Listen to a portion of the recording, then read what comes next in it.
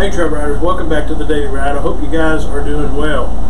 Today's crosshair passage comes from Philippians 2 9 through 11, which says, Therefore God also has highly exalted him and given him a name which is above every name, that at the name of Jesus every knee should bow to those in heaven and to those on the earth and to those under the earth, and that every tongue should confess that Jesus Christ is Lord to the glory of God the Father.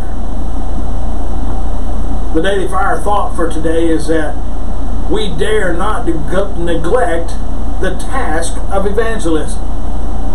Brandon, the word passages for today is Philippians 2 9 through 11 and 2 Timothy 4 5. The scriptures that get us through the Bible in a year is 1 Kings 17, Colossians 4, Ezekiel 47, and Psalm 103.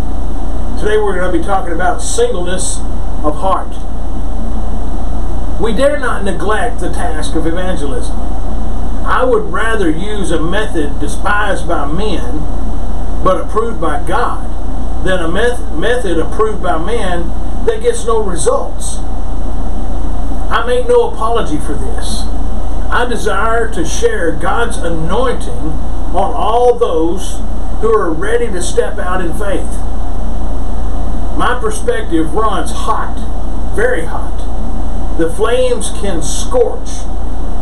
Some who read these pages, some who look at evangelists and pastors, would do well to take out fire insurance when they come around people that are walking in the anointed that they are so are, are given by God.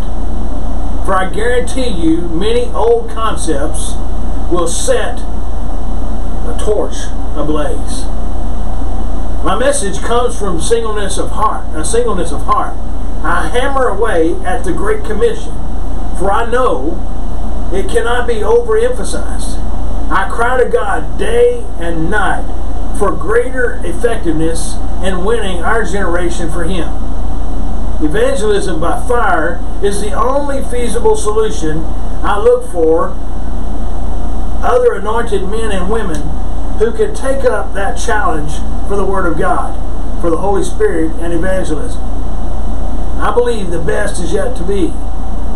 The time is coming soon when the whole world will resound with the praises of our God and our Savior.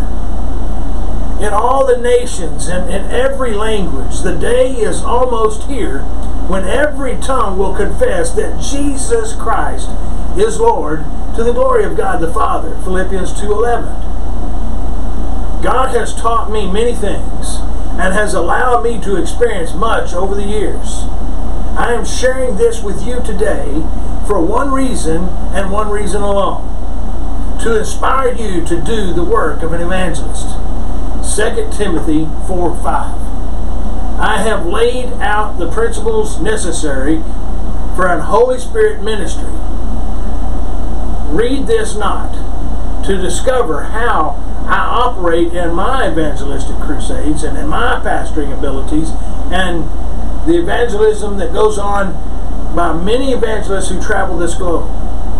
But discover how God operates through anyone willing to follow His plan, and that means you and I. God bless you guys. I hope you'll continue to follow me here on the Daily Ride, and I'll see you on the next trail ride.